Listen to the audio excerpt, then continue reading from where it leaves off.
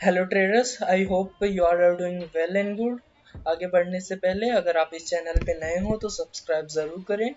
जैसा कि आज मार्केट ओपन होता है अराउंड 21,533 के आसपास उसके बाद मार्केट जो एक लो क्रिएट करता है अराउंड 21,475 का और मार्केट इस लेवल को रिटेस्ट करता है अराउंड 21,479 का। और उसके बाद जैसे कि आप देख सकते हैं मार्केट फ़र्स्ट हाफ़ आवर्स में पूरा साइडवेज रहता है।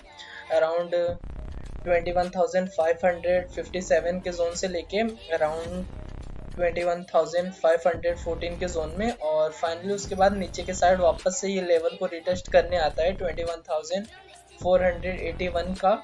और हमें यहाँ पे कप एंड हैंडल का पैटर्न नोटिस होता है और जब मार्केट अराउंड 235 की कैंडल क्लोज देती है तो उसके बाद मार्केट में आप देख सकते हो, ऊपर के साइड काफ़ी अच्छा खासा मूव आता है बट हमने स्ट्रेट को नहीं लिया था। रीज़न न लेने का यह था क्योंकि हमने उस टाइम ट्रेडिंग क्लोज कर दी थी ऑलमोस्ट और आज हम दिन में एक भी ट्रेड हमने नहीं लिया था, क्योंकि उसके पहले कोई सेटअप बना नहीं था, और लास्ट में एक सेटअप बना था, बस ये कप एंड हैंडल का, जो कि हमने ट्रेडिंग क्लोज करने की वजह से नहीं लिया था।